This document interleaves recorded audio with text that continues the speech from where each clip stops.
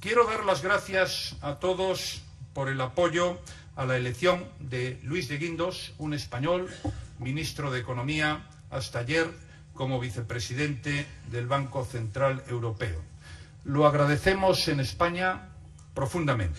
Es un reconocimiento también a su competencia, pero también a las políticas puestas en marcha por nuestro Gobierno que han hecho posible la recuperación económica de España. El Gobierno de España pierde un gran ministro, pero Europa gana un gran español.